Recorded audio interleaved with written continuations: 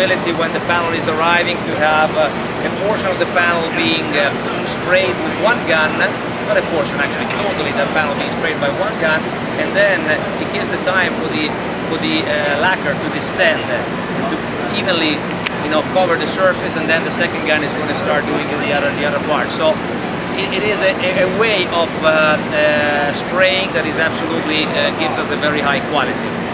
This is a machine that is uh, uh, working with a paper belt, so it means that uh, it's a suitable machine for those customers that are frequently changing uh, products or colors. They don't want to reclaim the lacquer that they are uh, they are um, uh, utilizing. So it's a flexible, fairly productive machine.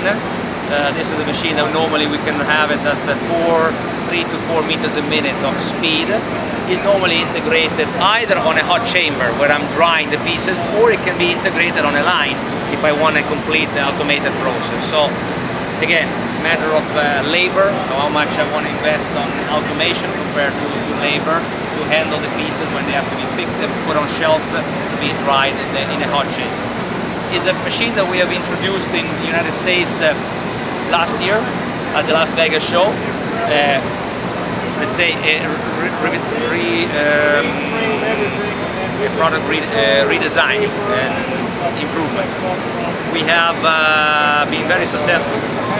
Uh, also because it is a machine that fits perfectly into the United States market as a you know middle uh, business uh, kind of uh, machine for those customers that are not small, not big, but they need a kind of automation on the finishing side. It can also be equipped with a uh, CFB belt for those customers that are instead of uh, changing frequently the colors or products that want to reclaim. So it's got a complete reclaiming system. So uh, avoiding again uh, to waste uh, a lot of lacquer during the, the, the spraying process. As you know, when I'm spraying, I'm creating a big cloud of overspray. Yeah and the entire purpose is trying to get that, that, that cloud onto the piece because that's where I want to have my, my paint to go. One important characteristic of this machine is the plenum that we have, this bulb. We have, we have studied this with our uh, with a university in Italy to see the airflow because we want the airflow to go from the filters onto the central part of the machine and onto the piece so that we have got a better transfer efficiency because that's where customers are counting their money they're spending on lacquer and how much is going to be on their piece. Moving forward, here we have a complete uh, working line which is uh, uh, utilizing again a spray machine which is uh, a uh, step uh, above the level of the Mito 2P and it's the Easy. Again with two arms, a machine that is more productive because it can go faster, spraying faster, so more volumes of production, more linear meters of production. It's a machine that comes with the uh, CFB belt, so it's a machine that uh, always is going to reclaim what I am overspraying out of my piece. And it's a machine that also has been a, a very good seller in the United States because for those customers that are, you know, uh, uh, let's say starting to have uh, necessities of, of volume that are important. This is a functioning line, so we're doing real demos over here, having pre-finished, so pre-based, base coated panels, and we are doing the finishing of this machine. The line is equipped with a brushing machine any panel that is being in a factory gets a little bit of dust that we have to remove. Here we have got a, a double brushing machine, top and bottom to have a perfectly clean and also air um, nozzles that are you know creating me a movement of dust coming out of the panel with the brushes and the air being collected by the dust collector. This is the uh, Easy, as you can see, different from the other machine that I was showing you, has got a CFP belt, always with dry filters. We can also uh, equip this machine with uh, uh water filtration. So the difference is that uh, the machine efficiency is always uh, guaranteed, but you have to be, as an operator, very careful on controlling the level of uh, your filters. If they start getting uh, full of dust, Uh, they will not anymore have the power of attracting all the particles that are going out of my belt. So we can start have particles flying around the area, starting to stick on part of the machine where we don't want them to. And then when the paint dries, a little bit of the vibration, they fall down and they can contaminate my pieces. So I don't want to get that one done. But again, the efficiency, the, the, how the machine works. As you can see, again, double arm machine. You can even equip this machine up to six guns per every uh, arm in order to have even here a quick color change. So I can have a, a system that automatically flashes me the gun and I start with another color. So again, it's machine suitable for those uh, medium uh, fairly big businesses that in any case need to have flexibility of production.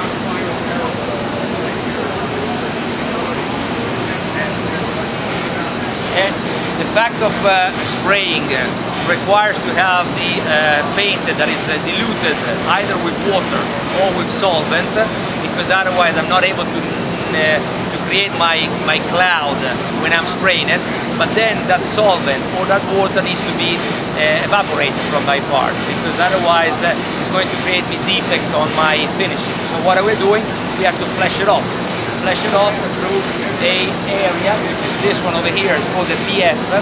is an area where we are uh, injecting hot air around 35, 40 degrees, which are, uh, sorry, 25 degrees, which are uh, evaporating the solvent or the water from my part and starting to have the first, uh, uh, let's say, uh, no, here we're talking in this particular line we have UV products, so the final curing will be done by the UV light.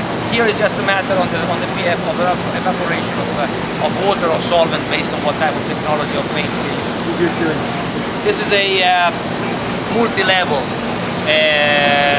flash off area, so we got six trays.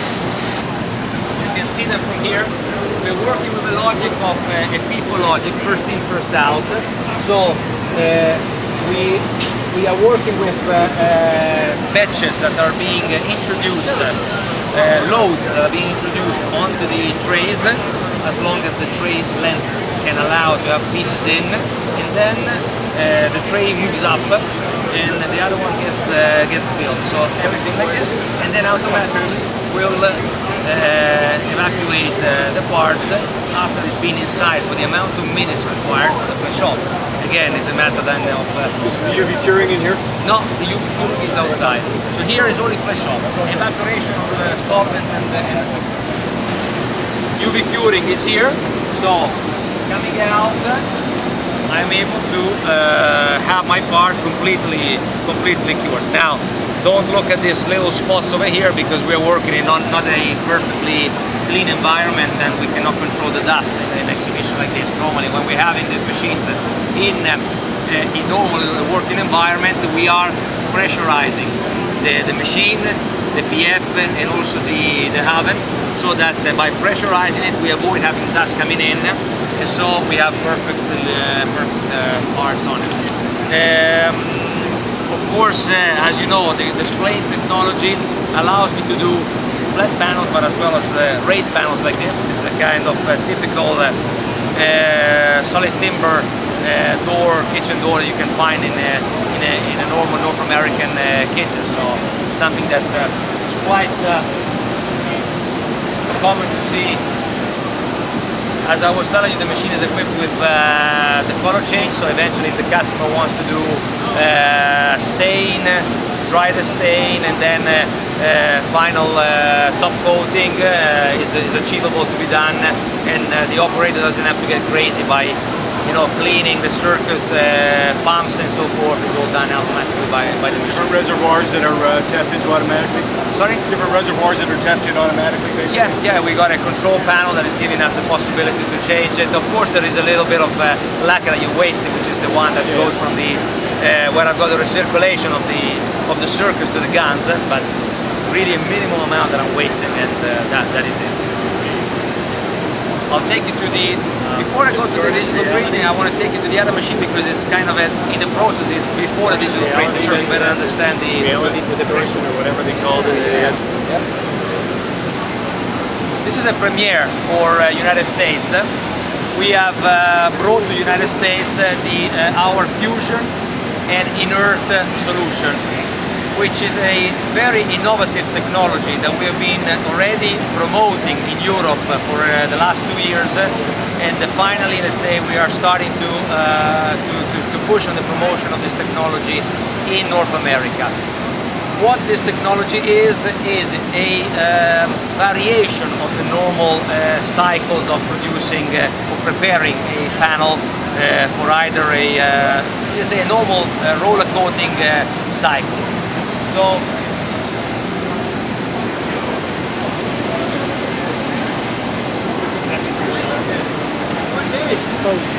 starting from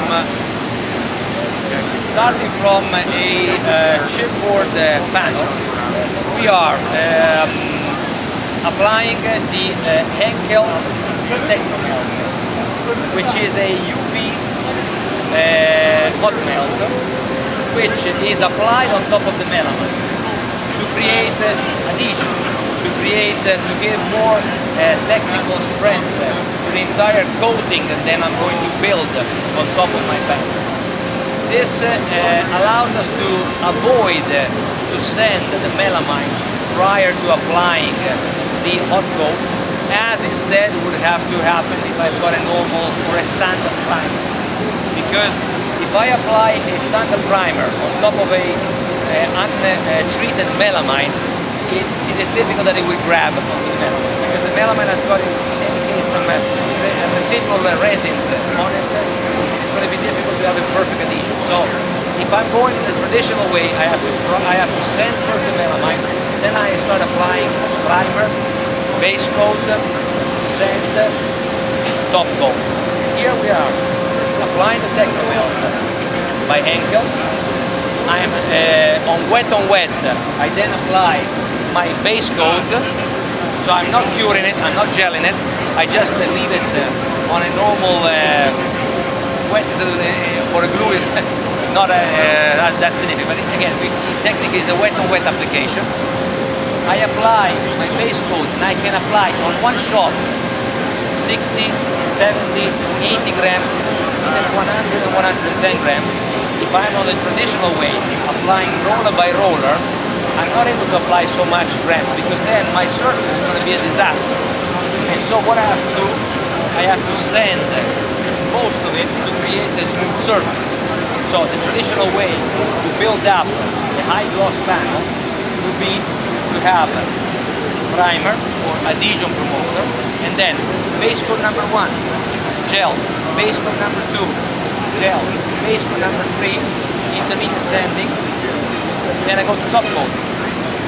Or I can have base coat, gel, base coat, sand, and then a third round of base coating.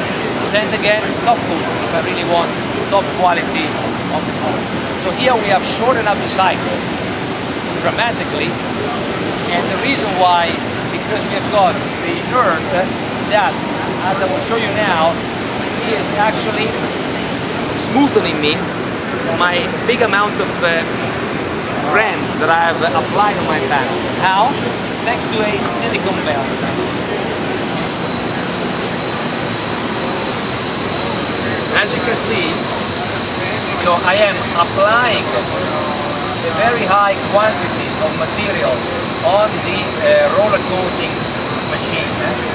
And uh, thanks to this belt, uh, it's perfectly smoothing me the surface, creating a base coat surface is very beautiful. So when after this I'm curing the surface, I don't need to sand it heavily like I'm always doing what I have to do on a normal cycle. So most of the application that I have applied on my substrate remains on my substrate. And the second beauty of this application here, or this uh, uh, innovation that we have done, is that, as you can see, the belt is half uh, smooth and half engraved. With the engraved belt, I can do this. So I can create a pattern which is like an embossed uh, panel and the combination of the embossed panel and then now digital printing gives me a natural effect that really is, is, is, uh, is very difficult to judge if it's a real veneer or if it's, uh, it's fake. So just to show you the part.